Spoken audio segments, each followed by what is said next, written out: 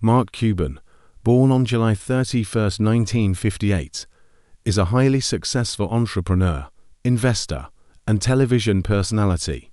His life story is a testament to his entrepreneurial spirit, business acumen, and willingness to take risks. Cuban grew up in a middle class family in Pittsburgh, Pennsylvania.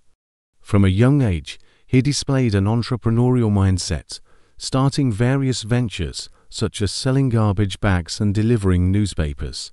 He attended Indiana University, where he studied business and developed his passion for technology and entrepreneurship. After graduating, Cuban embarked on a career in computer consulting and sales. He later founded his own software company, Micro Solutions, which he sold to CompuServe in 1990 for $6 million. This early success provided him with the capital to pursue other ventures. In 1995, Cuban co-founded Broadcast.com, an internet radio company that streamed live events and radio broadcasts over the internet. The company became wildly successful during the dot-com boom and was acquired by Yahoo in 1999 for $5.7 billion in stock. This deal made Cuban a billionaire and cemented his reputation as a savvy entrepreneur.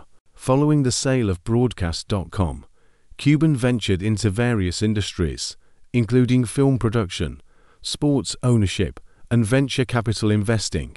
In 2000, he purchased the NBA team Dallas Mavericks for $285 million.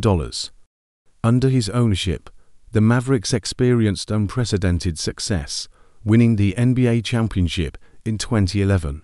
Cuban is also known for his role as an investor on the reality television show Shark Tank, where entrepreneurs pitch their business ideas to a panel of investors.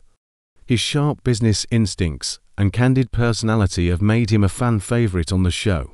Outside of business and television, Cuban is an outspoken advocate for various causes, including technology education and healthcare reform. He frequently shares his opinions on politics, business, and current events through his blog and social media. Overall, Mark Cuban's life story is one of entrepreneurship, innovation, and a relentless pursuit of success. From humble beginnings to billionaire status, Cuban has left an indelible mark on the worlds of business, sports, and entertainment.